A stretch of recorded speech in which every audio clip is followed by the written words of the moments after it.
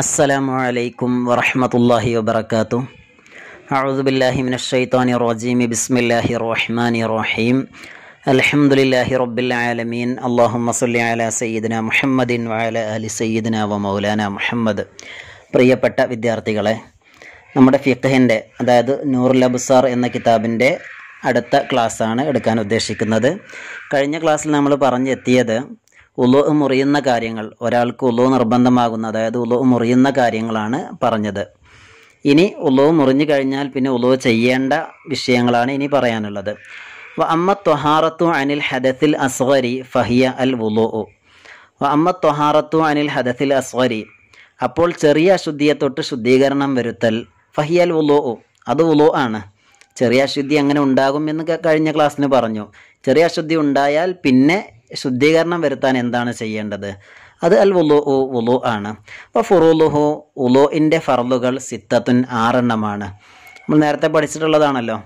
അൽ ഫർലുൽ അവലു ഒന്നാമത്തെ ഫർൽ നിയ്യത്തു റഫ് ഇൽ ഹദസി.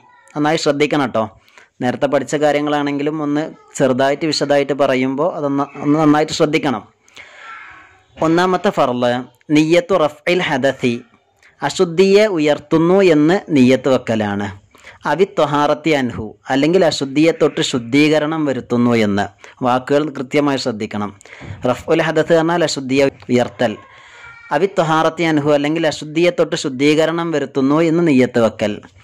അവിസ്തിഹ അവിസ്തിബാഹത്തി സ്വലാത്തി അല്ലെങ്കിൽ നിസ്കാരത്തെ ഹലാലാക്കുന്നു എന്ന് നെയ്യത്ത് വെക്കൽ. ഔ നഹവിദാലിക്ക അല്ലെങ്കിൽ അതുപോലത്തെ നെയ്യത്തുകൾ. അപ്പോൾ ഒന്നുകിൽ അശുദ്ധിയെ ഉയർത്തുന്നു എന്ന് അല്ലെങ്കിൽ അശുദ്ധിയെ തൊട്ട് ശുദ്ധിയാകുന്നു എന്ന് അല്ലെങ്കിൽ നിസ്കാരത്തെ ഹലാലാക്കാൻ വേണ്ടി ഞാൻ ഉളു ചെയ്യുന്നു എന്ന് ഇങ്ങനെയുള്ള നീയത്തുകൾ കരുതണം. വൽ അഫ്ലലു ഏറ്റവും ഉത്തമം ലി ദായിമിൽ ഹദസി നിത്യ അശുദ്ധിക്കാരനായ ആൾക്ക്. എപ്പോഴും അശുദ്ധിയുള്ള ചില ആളുകളുണ്ടായിരിക്കും ഏതുപോലെ? കസലിസിൽ ബൗലി മൂത്രവാർച്ച ഉള്ള ആൾ പോലെ. അതായത് അറിയാതെ തന്നെ ഇങ്ങനെ മൂത്രറ്റി പോകുന്ന ആളുകൾ പ്രായക്കായുണ്ടെങ്കിൽ പല ആളുകൾക്ക് ഉണ്ടാകുന്ന അസുഖമാണ് അള്ളാഹു കാത്തിരക്ഷിക്കട്ടെ. ഏതായാലും അങ്ങനെയുള്ള അസുഖമുള്ള ആളുകൾക്ക് അതുപോലെയുള്ള എപ്പോഴും അശുദ്ധി ഉണ്ടാകുന്ന ആളുകൾക്ക് ഏറ്റവും ഉത്തമം. ഐ എൻവിയ അവൻ കരുതലാണ്. റഫ് അൽ ഹദസി വൽ ഇസ്തിബാഹത്ത. അശുദ്ധിയെ ഉയർത്തുന്നു എന്നും നിസ്കാരത്തെ ഹലാലാക്കാൻ വേണ്ടി ഞാൻ ഉളവ് ചെയ്യുന്നു എന്ന് രണ്ടിനെയും കൂടി കരുതലാണ് അവർക്ക് ഏറ്റവും ഉത്തമം. അതായത് നിത്യാശുദ്ധിയുള്ള ആളുകൾക്ക് സാധാരണക്കാരായ ആളുകൾക്ക് നേരത്തെ പറഞ്ഞ നീയത്തുകളിൽ നിന്ന് ഏത് നീയത്ത് വെച്ചാലും പ്രശ്നമല്ല. അതേസമയം നിത്യാശുദ്ധിയുള്ള ഒരാളാണെങ്കിൽ അയാൾക്ക് ഏറ്റവും ഉത്തമം എങ്ങനെ നീയത്ത് വെക്കലാണ്? അശുദ്ധിയെ ഉയർത്തുന്നു എന്നും അതോടൊപ്പം നിസ്കാരത്തെ ഹലാലാക്കാൻ വേണ്ടി ഞാൻ ഉളവ് ചെയ്യുന്നു എന്നതിന് രണ്ടിനെയും രണ്ടിനെയും കൂടി കൂട്ടി നീയത്ത് വെക്കലാണ് അവന് ഏറ്റവും ഉത്തമം. ഫൈൻ ഇഖ്തസറ അല നിയ്യത്തെ ഇസ്- ഇസ്തിബാഹത്തി. ഇനി ഇസ്തിബാഹത്ത് എന്ന നീയത്തിൽ മാത്രം ചുരുക്കിയാൽ അങ്ങനെ പറഞ്ഞാൽ നിസ്കാരത്തെ ഹലാലാക്കാൻ വേണ്ടി ഞാൻ ഉലോ ചെയ്യുന്നു എന്ന നീയത്ത് മാത്രം വെച്ചാൽ അജസഅഹു എന്നാലും മതി. നിസ്കാരത്തെ ഹലാലാക്കാൻ വേണ്ടി ഞാൻ ഉലോ ചെയ്യുന്നു എന്ന് മാത്രം നീയത്ത് വെച്ചാലും മതി. ആര്?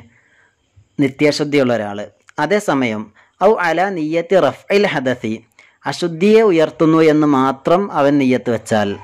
നിത്യാശുദ്ധിയുള്ള ഒരാൾ അശുദ്ധിയെ ഉയർത്തുന്നു എന്ന് മാത്രം നീയത്ത് വെച്ചാൽ ലം യുജിസി ഉഹു ആ നീയത്ത് അവന് മതിയാവുകയില്ല. നന്നായി ശ്രദ്ധിക്കേണ്ട ഒരു കാര്യമാണ്. അശുദ്ധിയെ ഉയർത്താൻ വേണ്ടി ഞാൻ ഉളവ് ചെയ്യുന്നു. അല്ലെങ്കിൽ അശുദ്ധിയെ അങ്ങനെ നീയത്ത് ആ നീയത്ത് സാധാരണ ഒരാൾക്ക് നീയത്ത് വെച്ചാൽ പ്രശ്നമല്ല ഉദു ശരിയാവും. അതേ സമയത്ത് നിത്യാശുദ്ധിയുള്ള ഒരാൾ ഫുൾ ടൈം അശുദ്ധിയുള്ള ഒരാൾ മൂത്രവാർച്ചക്കാരനെ പോലെയുള്ള ഒരാൾ അശുദ്ധിയെ ഉയർത്താൻ വേണ്ടി ഞാൻ ഉളവ് ചെയ്യുന്നു എന്ന് മാത്രം നീയത്ത് വെച്ചാൽ അവന്റെ ഉളവ് ശരിയാവില്ല. കാരണം സത്യത്തിൽ അവന്റെ അശുദ്ധി ഉയരുന്നില്ലല്ലോ അവന്റെ അശു അശുദ്ധി ഇല്ലാതെയാകുന്നില്ല. പിന്നെ നിസ്കരിക്കാൻ വേണ്ടിയുള്ള ഒരു അഡ്ജസ്റ്റ്മെന്റ് മാത്രമാണ് അവിടെ നടക്കുന്നത്. അപ്പോൾ അവിടെ അവൻ എന്ത് നീയത്ത് വെക്കണം? നിസ്കാരത്തെ ഹലാലാക്കാൻ വേണ്ടി ഞാൻ ഉളവ് ചെയ്യുന്നു എന്ന് നീയത്ത് വെക്കണം. അല്ലെങ്കിൽ അശുദ്ധിയെ ഉയർത്താൻ വേണ്ടിയും നിസ്കാരത്തെ ഹലാലാക്കാൻ വേണ്ടിയും രണ്ടും കൂടി കൂട്ടിയിട്ട് വെക്കണം. അങ്ങനെ രണ്ടും കൂടിയും കൂട്ടിയിട്ട് വെക്കലാണ് ഏറ്റവും ഉത്തമം. മനസ്സിലായല്ലോ? വയജിബു കർണു നിയത്തി ബി അവലി മഹസൂലിൻ മിനൽ വജ്ഹി. മുഖത്തിൽ നിന്ന് ആദ്യം കഴുകപ്പെടുന്ന ഭാഗവുമായിട്ട് നെയ്യത്തിനെ ചേർക്കൽ അന്വരിപ്പിക്കൽ നിർബന്ധമാണ്. അതായത് മുഖം കഴുകാൻ തുടങ്ങുമ്പോഴാണ് നെയ്യത്ത് മനസ്സിൽ വേണ്ടത്. അത് നീയത്ത് മനസ്സിൽ വെക്കുക എന്ന് പറയുമ്പോൾ ചില ആളുകൾക്ക് ആ ഒരു വിഷയത്തിൽ വസ്വാസമൊക്കെ ഉണ്ടാവാറുണ്ട്. അതിന്റെ ഒന്നും ആവശ്യമില്ല. അതായത് ഞാൻ ഉളു ചെയ്യുന്നു അല്ലെങ്കിൽ ഉളു എന്ന ഫർദിനെ ഞാൻ വീട്ടുന്നു അല്ലെങ്കിൽ നിസ്കാരത്തെ ഹലാലാക്കാൻ വേണ്ടി ഞാൻ ഉലോ ചെയ്യുന്നു എന്നുള്ള ഒരു കാര്യം ആ ഒരു സമയത്തിൽ ആ സമയത്ത് മനസ്സിൽ കൊണ്ടുവരണം. അത്രയേ ഉള്ളൂ. ആ ഒരു സമയത്ത് അത് മനസ്സിൽ വരണം. അത്രയേ ഉള്ളൂ. വാക്കുകൊണ്ട് പറയൽ സുന്നത്തേ ഉള്ളൂ. വായ കൊണ്ട് പറയൽ സുന്നത്തേ ഉള്ളൂ. അത് മനസ്സിൽ കൊണ്ടുവരിക. മുഖം കഴുകാൻ തുടങ്ങുന്ന സമയത്ത് മനസ്സിൽ കൊണ്ടുവരിക. അത്രേ വേണ്ടുള്ളൂ. അൽ ഫർലു സാനി രണ്ടാമത്തെ ഫർൾ അപ്പോൾ ആറ് ഫർളുകളാണ് പറഞ്ഞത്. ഒന്നാമത്തെ ഫർളിന്റെ വിഷയങ്ങളാണ് ഇപ്പോൾ നമ്മൾ ചർച്ച ചെയ്തത്. രണ്ടാമത്തെ ഫർളിന്റെ കാര്യം അൽ ഫർലു സാനി രണ്ടാമത്തെ ഫർൾ വസ്ലിൽ വജിഹി മുഖം കഴുകലാണ്. വഹദ്ദുഹു മുഖത്തിന്റെ പരിധി. മുഖം എന്ന് പറഞ്ഞാൽ ഏതൊക്കെ ഭാഗമാണ് കഴുകേണ്ടത്? അതിന്റെ പരിധി. മിൻ മുബത്തദ ഇ തസ്തീഹിൽ ജബഹത്തി ഇല മുൻതഹ ദഖനി. മിൻ മുബത്തദ ഇ തസ്തീഹിൽ ജബഹത്തി. ഈ നെറ്റിയുടെ എന്ന നെറ്റി. നെറ്റിയുടെ പരന്നു നിൽക്കുന്ന ഭാഗത്തിന്റെ അറ്റം മുതൽ ആ അറ്റം മുതൽ ഇല മുൻതഹ ദഖനി താടിയല്ലിന്റെ അറ്റം വരെ. അതായത് നെറ്റിയുടെ മേൽഭാഗം മുതൽ താടിയല്ലിന്റെ അറ്റം വരെയുള്ളതാണ്. അങ്ങനെ നീളത്തിൽ മുഖത്തിന്റെ പരിധി. താടിയല്ലിന്റെ അറ്റം. തൂലൻ നീളത്തിൽ. വമിനൽ ഉദനി ഇലൽ ഉദനി. ഒരു ചെവി മുതൽ മറ്റേ ചെവി വരെയുള്ള ഭാഗമാണ് അർലൻ വീതിയിൽ ആ മുഖത്തിന്റെ നീളത്തിൽ നോക്കുകയാണെങ്കിൽ ഈ നെറ്റിയുടെ അറ്റം മുതൽ മേലെ അറ്റം മുതൽ താടിയല്ലിന്റെ അടിഭാഗം വരെ. അതുപോലെ വീതിയിൽ മുഖത്തിന്റെ പരിധി നോക്കുകയാണെങ്കിൽ ഒരു ഉദന് മുതൽ ഒരു ചെവി മുതൽ അടുത്ത ചെവി വരെ. ഫൻ നസുഖത്താനി ഇനി ശ്രദ്ധിക്കുന്ന ഈ വാക്കുകൾ ശ്രദ്ധിക്കട്ടോ. ഫൻ നസുഖത്താനി അപ്പോൾ രണ്ട് നസുഖത്തുകൾ നസുഖത്താണ് കയനെറ്റി എന്ന് പറയും. നമ്മൾ സാധാരണ ഭാഷയിൽ കയനെറ്റി എന്ന് പറയും. അതായത് നെറ്റിയുടെ രണ്ട് ഭാഗം ഇങ്ങനെ ഉയർന്നിട്ട് മേലോട്ട് പോയതുണ്ടാവാറുണ്ടല്ലോ ചില ആളുകൾക്ക്. അതിനാണ് കയനെറ്റി എന്ന് പറയാം. അധികം ആളുകൾക്കുണ്ടാവും ചെറുതായിട്ട് ചില ആളുകൾക്ക് കഷണ്ടി ആകുമ്പോൾ കൂടുതലായിട്ടുണ്ടാവും അത്രേ ഉള്ളൂ. അപ്പോൾ ആ കയനെറ്റി എന്നുള്ള സ്ഥലം മസ്സദ്വാനി അതുപോലെ രണ്ട് ചെവിയുടെ ആ കുറ്റികൾ ചെവിക്കുറ്റികൾ അപ്പോൾ മൗലിയോ തെഹദീഫി മൗലിയോ തെഹദീഫ് പറഞ്ഞാൽ തെഹദീഫ് പറഞ്ഞാൽ സത്യത്തിൽ പഴയ കാലത്തൊക്കെ ഈ പ്രഭുക്കളായിട്ടുള്ള ആളുകളുടെ ഭാര്യമാർ രാജാക്കന്മാരുടെ ഭാര്യമാരൊക്കെ മുഖം വട്ടത്തിലാക്കാൻ വേണ്ടി ഇങ്ങനെ റൗണ്ടാക്കിയിട്ട് മുഖ മുഖത്തിന്റെ സൈഡ് ഭാഗത്ത് നിന്ന് മുടി നീക്കം ചെയ്യുന്ന ഒരു പരിപാടി പഴയ കാലങ്ങളിൽ ഉണ്ടായിരുന്നു. അതിനാണ് തെഹദീഫ് എന്ന് പറയുക ആ ഭാഗം അതായത് നമ്മളെ ചെവിയുടെ ഭാഗത്ത് നിന്ന് ചെവിയുടെ മേലെ അറ്റത്തിന്റെ അവിടുന്ന് ചെവിയുടെ മേലെ അറ്റത്തിന്റെ അവിടെ നേരത്തെ പറഞ്ഞ കയനെറ്റിയിലേക്ക് ഇങ്ങനെ ഒരു നൂൽ വെക്കുകയാണെങ്കിൽ അവിടെ വരുന്ന ആ ഭാഗം അതിന്റെ ഇടയിൽ വരുന്ന അതിന്റെ ബാക്കിൽ അതിന്റെ അപ്പുറത്തേക്ക് വരുന്ന ആ ഭാഗം അതിനാണ് മൗലു തഹദീഫ് എന്ന് പറയുക മനസ്സിലായല്ലോ? അതായത് നമ്മുടെ ചെവിയുടെ മേൽഭാഗത്ത് നിന്ന് കയനെറ്റി നേരത്തെ പറഞ്ഞ കയനെറ്റിയുടെ അറ്റത്തേക്ക് ആ അറ്റത്തേക്ക് ഒരു നൂൽ വെച്ചിട്ടുണ്ടെങ്കിൽ അതിന്റെ അപ്പുറത്ത് വരുന്ന ഭാഗം അതിന്റെ അപ്പുറത്തേക്ക് വരുന്ന ഭാഗം ആ ഭാഗത്തിനാണ് മൗലിയു തഹദീഫ് എന്ന് പറയാം. ആ ഭാഗവും മീന റസി ഇതാ ഈ പറഞ്ഞ ഭാഗങ്ങളൊക്കെ തലയിൽപ്പെട്ടതാണ് തലയുടെ പരിധിയിൽപ്പെട്ടതാണ് അതൊന്നും എന്തല്ല മുഖത്തിന്റെ പരിധിയിൽപ്പെട്ടതല്ല എന്നർത്ഥം. തിരിഞ്ഞു അപ്പോൾ അതൊന്നും കഴുകൽ നിർബന്ധമല്ല ഈ പറഞ്ഞ സ്ഥലങ്ങൾ കയനെറ്റിയൊക്കെ മുഴുവനായിട്ട് നനക്കണമെന്ന് നിർബന്ധമല്ല ആ പറഞ്ഞ സ്ഥലങ്ങളൊക്കെ അത് തലയുടെ പരിധിയിൽപ്പെട്ടതാണ് മുഖത്തിന്റെ പരിധിയിൽപ്പെട്ടതല്ല. അപ്പോൾ വയജിബ് വസ്ലുൽ ഹാജിബി പുരികം കഴുകൽ നിർബന്ധമാണ്. പുരികം മുഖത്തിന്റെ പരിധിയിലാണല്ലോ വരുന്നത്. വ ഷാരിബി മീശ പുരുഷന്മാരുടെ മീശ. വൽ ഹദബി കണ്ണിന്റെ ഇമകൾ ഉണ്ടാവുമല്ലോ അത്. വൽ ഇദാരി ഇദാർ എന്ന് പറഞ്ഞാൽ താടിയുടെ നമ്മൾ സാധാരണ താടി എന്ന് പറയുന്നത് മൊത്തം താടി രോമത്തിന് താടി എന്നാണ് പറയാറുള്ളത്. പക്ഷേ അറബിയിൽ അതിന്റെ ഓരോ ഭാഗത്തിനും വ്യത്യസ്ത നാമങ്ങളുണ്ട്. അതിൽപ്പെട്ടാണ് ഇദാറ് അതായത് ചെവിക്ക് നേരെ നിൽക്കുന്ന നമ്മൾ കൃതാവ് എന്നൊക്കെ പറയുന്ന ആ ഒരു ഏരിയ അല്ലെങ്കിൽ അവിടുന്ന് ആ ചെവിയുടെ നേരെ നിൽക്കുന്ന താടിയുടെ ഒരു ഏരിയ ഉണ്ടല്ലോ. ആ ഏരിയക്കാണ് ഇതാറ് എന്ന് പറയുക. ആ സൈഡിലെ താടിയുടെ സൈഡ് എന്ന് മനസ്സിലാക്കി വെച്ചോളൂ. ആ താടി രോമങ്ങൾ അത് അതൊക്കെ കഴുകൽ നിർബന്ധമാണ്. അതൊക്കെ ഈ പറഞ്ഞ മുഖത്തിന്റെ പരിധിയിലാണല്ലോ വരിക. വല്ല അംഫക്കത്തി അംഫക്കത്ത് പറഞ്ഞാൽ അതുപോലെ തന്നെ താഴെ ചുണ്ടിന്റെ ഭാഗത്ത് നിൽക്കുന്ന താടി രോമം. താഴെ ചുണ്ടിന്റെ ഭാഗത്ത് താഴെ ചുണ്ടുമ്പോൾ നിൽക്കുന്ന താടി രോമം ഉണ്ടല്ലോ. കുറച്ച് ഭാഗം ഉണ്ടാവും അതിനാണ് അൻഫക്കത്ത് എന്ന് പറയുക. ഈ ഭാഗങ്ങളൊക്കെ ഷറൻ വ ബഷറൻ. അത് രോമമാണെങ്കിലും അതുപോലെ തൊലിയാണെങ്കിലും. ഒരാൾക്ക് അവിടെ താടി ഉണ്ടെങ്കിൽ അവിടെ രോമമായിരിക്കും. ഈ പറഞ്ഞ സ്ഥലങ്ങളിലൊക്കെ താടി ഇല്ലെങ്കിൽ അവിടെ തൊലിയായിരിക്കും. രണ്ടാണെങ്കിലും അവിടെയൊക്കെ കഴുകൽ നിർബന്ധമാണ്. ഈ പറഞ്ഞ സ്ഥലങ്ങൾ ഒരാൾക്ക് പുരികല്ല പുരിക അല്ലെങ്കിലും പുരികത്തിന്റെ സ്ഥലം കഴുകൽ നിർബന്ധമാണ്. മീശല്ല മീശല്ലെങ്കിൽ ആ സ്ഥലം കഴുകൽ നിർബന്ധമാണ്. ഇതൊക്കെ മുഖത്തിന്റെ പരിധിയിൽ പെട്ടതാണെന്ന് അർത്ഥം.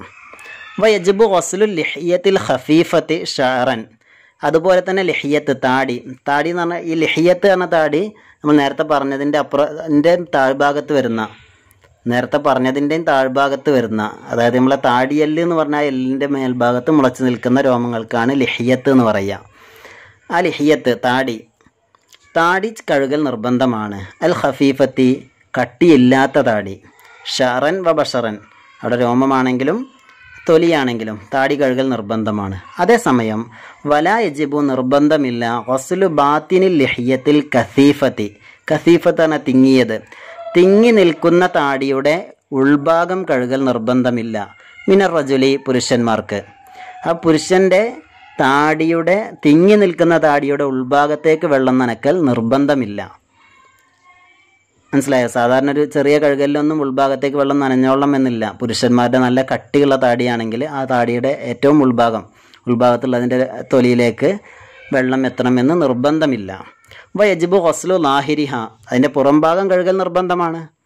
വയജിബു ഹൊസ്ലു ജുസ് ഇൻ മിനർ എസ്സി അതേസമയം വയജിബു നിർബന്ധമാണ് ഒസ്ലു ജുസ് ഇൻ മിനർ എസ്സി തലയുടെ അല്പഭാഗം കഴുകൽ. മീൻസ് നമ്മൾ പറഞ്ഞ മുഖത്തിന്റെ പരിധി പൂർണമായും നനയണമെങ്കിൽ അതിന്റെ അപ്പുറത്തേക്ക് വെള്ളം കിടക്കണ്ടേ? ഈ പറഞ്ഞ മുഖത്തിന്റെ പരിധി പൂർണമായും നനയണം. ഇത് പൂർണമായും നനയണമെങ്കിൽ കുറച്ച് ഒരല്പം തലയുടെ ഭാഗത്തേക്ക് വെള്ളം കയറണമല്ലോ അങ്ങനെ അല്പം കയറൽ നിർബന്ധമാണ്. വറക്കബത്തി കഴുത്തിന്റെ ഭാഗത്തേക്കും. റക്കബത്ത് കഴുത്തിന്റെ ഭാഗം. അതായത് ഈ താടി നേരത്തെ പറഞ്ഞ ആരില്ല ആ താടിയുടെയൊക്കെ അവിടെ നിന്ന് ഇങ്ങോട്ട് ഇറങ്ങിയാൽ പിന്നെ കഴുത്തിന്റെ ഭാഗമാണല്ലോ അവിടെ ഉള്ളത്. അവിടേക്ക് അല്പം വെള്ളം കിടക്കണം. കാരണം അല്പം വെള്ളം കിടന്നാലല്ലേ ഈ പറഞ്ഞ ഭാഗം പൂർത്തിയാവുള്ളൂ. കഴുത്ത് കഴുകൽ നിർബന്ധമല്ല. പക്ഷേ കഴുത്തിലേക്ക് അല്പം കയറിയാലല്ലേ പറഞ്ഞ മുഖത്തിന്റെ പരിധി പൂർത്തിയാവുള്ളൂ. തല കഴുകൽ നിർബന്ധമല്ല. പക്ഷെ തലയിലേക്ക് അല്പം കയറിയാലല്ലേ മുഖത്തിന്റെ പരിധി പൂർത്തിയാവുള്ളൂ. അതിനുവേണ്ടി അവിടെ രണ്ട് ഭാഗത്തും അല്പം കയറൽ നിർബന്ധമാണ്. ഒമാ തെഹത്ത ദക്കനി അതുപോലെ തന്നെ താടിയല്ലിന്റെ അടിഭാഗത്തേക്കും അല്പം ഇറങ്ങൽ നിർബന്ധമാണ്. താടിയല്ലിന്റെ ഈ പരിധി വരെ അറ്റം വരെ പൂർത്തിയാവണമെങ്കിൽ അടിഭാഗത്തേക്ക് കുറച്ച് നനയണ്ടേ? അപ്പോൾ കുറച്ച് അങ്ങോട്ടും കയറൽ നിർബന്ധമാണ്. മായൽ വജിഹി മുഖം കഴുകുന്നതോടൊപ്പം. വൈസ്തഹബു സുന്നത്താണ്. അയ്യംസഹ സുമാഹൈഹി മിനൽ ഉദനി. അവൻ രണ്ട് ചെവിക്കുഴികൾ. തടവൽ. കഴുകലല്ല കേട്ടോ തടവൽ. അപ്പോൾ മാക്കൽ അയിനി അതുപോലെ തന്നെ കണ്ണിന്റെ കണ്ണിന്റെ മാക്കൽ മാക്കൽ അയിനി പറഞ്ഞാൽ കണ്ണിന്റെ ഈ പീളക്കുഴി. ഈ കണ്ണിന്റെ മൂക്കിനോട് അറ്റ അറ്റത്ത് തന്നെ മൂക്കിന്റെ അടുത്ത് വരുന്ന കണ്ണിന്റെ രണ്ട് കുഴികളുണ്ടല്ലോ. ആ അറ്റം ആ അറ്റവും തടവൽ സുന്നത്താണ്. വഹുവ തൊറഫുഹ മാക്കൽ ഐനി എന്ന് പറഞ്ഞാൽ എന്താണ്? വഹുവ തൊറഫുഹ കണ്ണിന്റെ അറ്റമാണ്. മിമ്മ എലിൽ അംഫ മൂക്കിനോട് അടുത്ത് നിൽക്കുന്ന അറ്റത്തിനാണ് മാക്ക് എന്ന് പറയുന്നത്. ബിസ്ബാഹി ഇസ്ബാഹി അത് വിരലുകൊണ്ട് തടവൽ സുന്നത്താണ്. വയജിബു അതേസമയം അത് നിർബന്ധമാകും. ഇങ്കാന ഫിഹി റമസുൻ അവിടെ റമസ് ഉണ്ടെങ്കിൽ പീളെ മറ്റൊക്കെ അഴുക്കുകളൊക്കെ അവിടെ ഉണ്ടെങ്കിൽ അത് വിരലുകൊണ്ട് കഴുകിയ എന്താ വൃത്തിയാക്കൽ നിർബന്ധമായി തീരും. ഇനി അഴുക്കൊന്നും ഇല്ലെങ്കിൽ തന്നെ വിരലുകൊണ്ട് അവിടെ തടവൽ സുന്നത്താണ് മുഖം കഴുകുമ്പോൾ. ഇൻഷാല്ല ബാക്കി ഭാഗം മൂന്നാമത്തെ ഫർൾ മുതൽ നമുക്ക് അടുത്ത ക്ലാസ്സിന് എടുക്കാം. ഇപ്പോൾ ഒന്ന് രണ്ട് ഫർളുകളാണ് ഉളുവിന്റെ ഒന്ന് രണ്ട് ഫർളുകളും അതിന്റെ വിശദീകരണമാണ് എടുത്തത്. എല്ലാവരും കൃത്യമായിട്ട് ഈ ഭാഗങ്ങൾ നോട്ട് എഴുതുക. അള്ളാഹു സുബാനോ താല പഠിക്കാനും അതനുസരിച്ച് പ്രവർത്തിക്കാനും തോഫീക്ക് നൽകി അനുഗ്രഹിക്കട്ടെ. അസ്സാം വലൈക്കും വറഹമത്തല്ലാഹി വാബർക്കാത്തു